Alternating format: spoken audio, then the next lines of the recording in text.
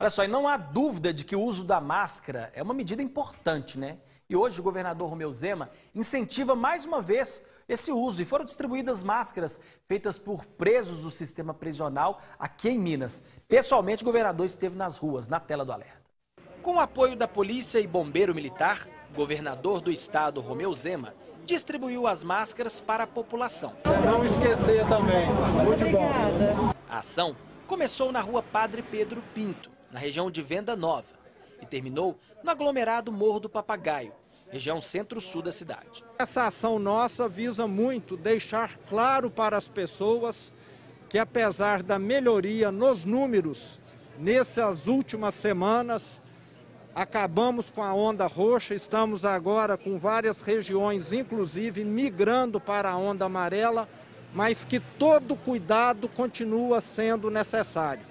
Então, o que nós queremos é deixar claro para a população: a situação melhorou, mas os cuidados não podem ser deixados de lado. As máscaras distribuídas foram confeccionadas por 130 detentos, em 16 unidades do sistema prisional.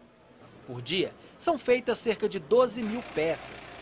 E desde o início da pandemia, já foram fabricadas 5 milhões de máscaras. Isso aqui é muito bom, a gente está usando, a gente também fica mais, mais assim, protegido, né? E devemos usar mesmo, ter isso em mente, para que seja prevenido mesmo o contágio, né, a contaminação, e também para não prejudicar a vida dos outros. O governador Romeu Zema falou também sobre a chegada de um milhão de doses da vacina Pfizer ao Brasil nessa quinta-feira. Ela está prevista para atender somente as capitais.